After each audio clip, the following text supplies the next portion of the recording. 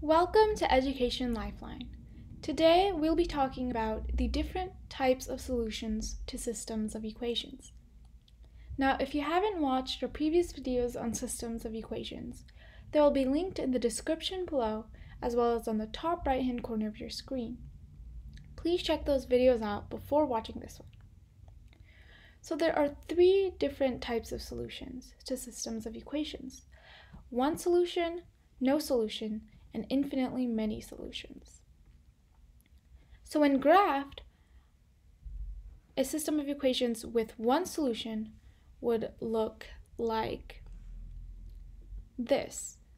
Two or more lines will intersect at exactly one point, hence one solution. And a system of equations that has one solution will be called a consistent system.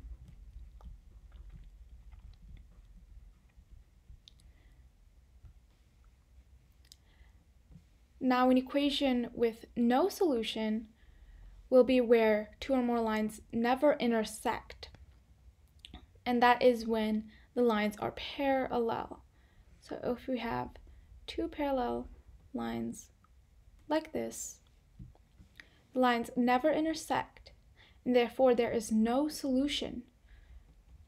And equations or system of equations that have no solution are called inconsistent. Now, infinitely many solutions will look like this. So we have one line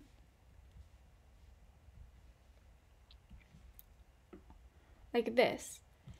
And then the other line will be right on top of that line. So you can barely tell that there are two different lines. That's what you call infinitely many solutions.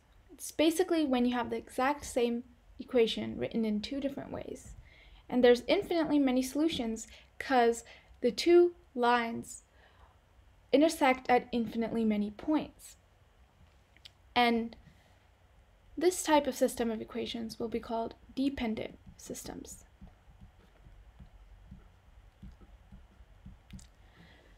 Now an example of an system of equations with one solution would be y equals 2x minus 1 and y equals 3x minus 2.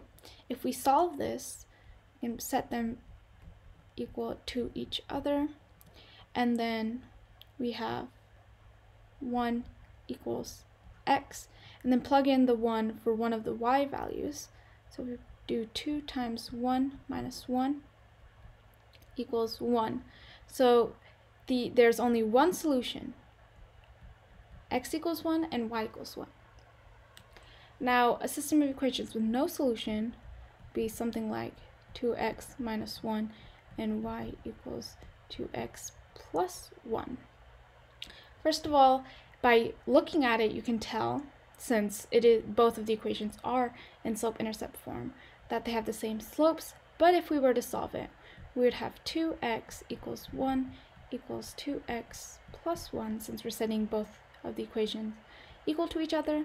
We can subtract 2x from both sides, and we're left with negative 1 equals 1, which is not true. So if you get an equation that is not true, it's no solution. Now, infinitely many solutions will look something like this.